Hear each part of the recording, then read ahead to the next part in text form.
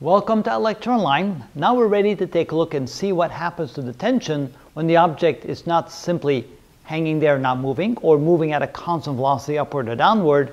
Now we're going to take a look at the situation where the object actually accelerates upward or accelerates downward. In each case we'll use a free body diagram to support our thinking. Let's start with the middle situation. The velocity is zero, the object is simply hanging there not moving. We can say that using Newton's second law, the net force on the object must equal the mass times acceleration. So if we draw a free body diagram around our object, we then realize that there's the force of gravity pulling downward, and I probably should have left myself a little bit more room. Let me erase this. I'll get back to that in just a moment. The weight of the object, mg, pulling up, and then we have the tension on the cable pulling up on the object. So again, to that equation we just had, that the, the Newton's second law tells us that the net force on the object is equal to the mass times acceleration.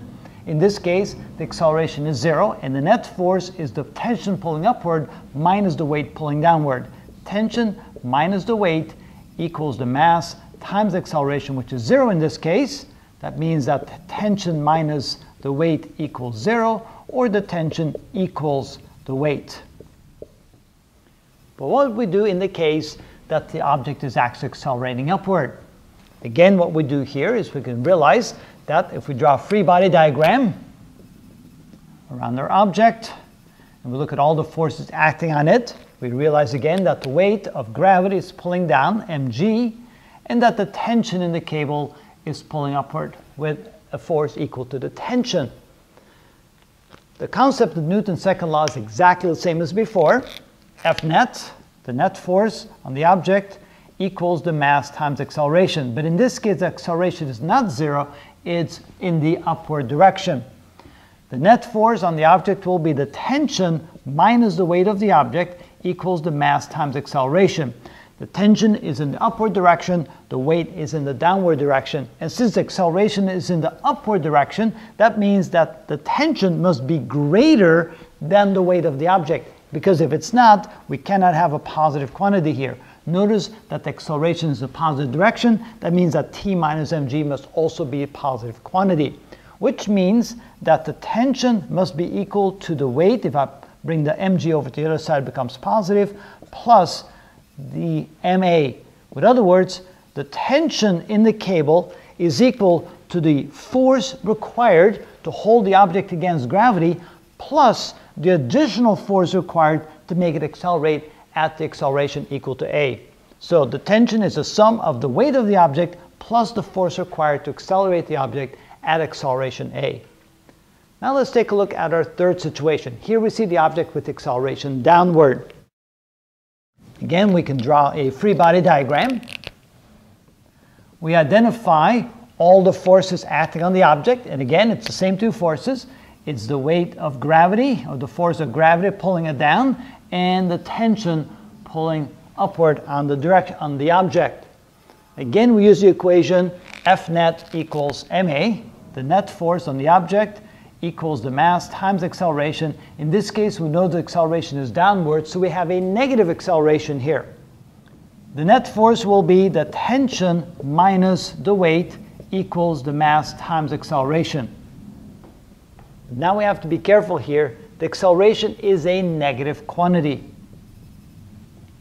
That means that the weight here, the weight of the object, must be greater than the tension, otherwise this would not be a negative quantity.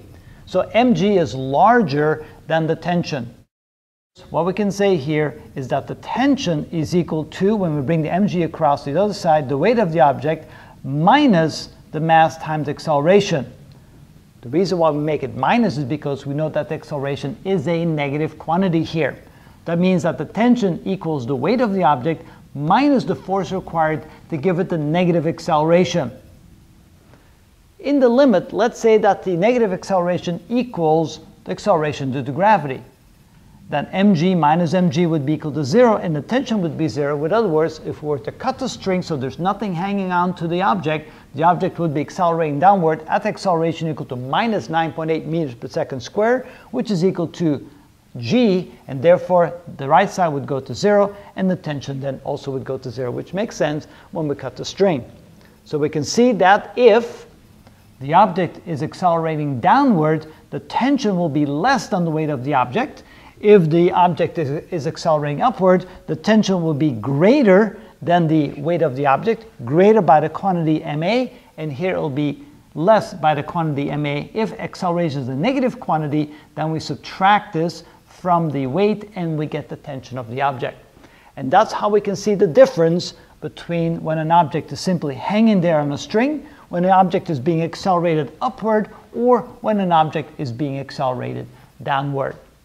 On the next video, we'll do a more systematic explanation of how we do that with the forces and directions so you can see that the sign actually does work. Here we just have an intuitive feel for it. On the next video we'll work that problem out where we show the exact form of how to do that with free body diagrams and the concept of the different directions and the sign associated with it.